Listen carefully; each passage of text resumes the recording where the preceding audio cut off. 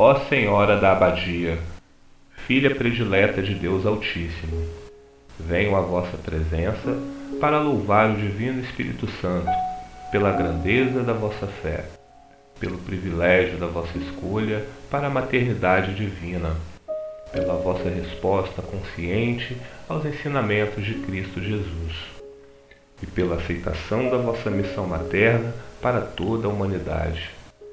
Por isso, foste constituída por Deus, refúgio dos pecadores, mãe dos aflitos, saúde dos enfermos e rainha da paz.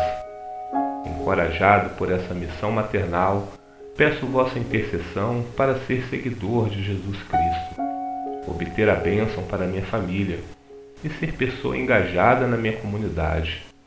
Com vossa proteção, espero exercer o meu trabalho e levar a minha vida em saúde e plena alegria.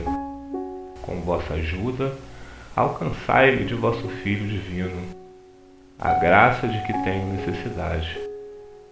Tenho plena confiança em vossa intercessão junto ao nosso Salvador. Amém. Nossa Senhora da Abadia, rogai por nós.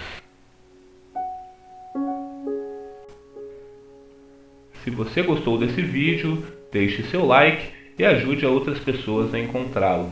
E se ainda não é inscrito no nosso canal, não perca mais tempo. Inscreva-se e receba mais vídeos como esse, que vão abençoar a sua vida. Eu vou ficando por aqui, um forte abraço e até o próximo vídeo.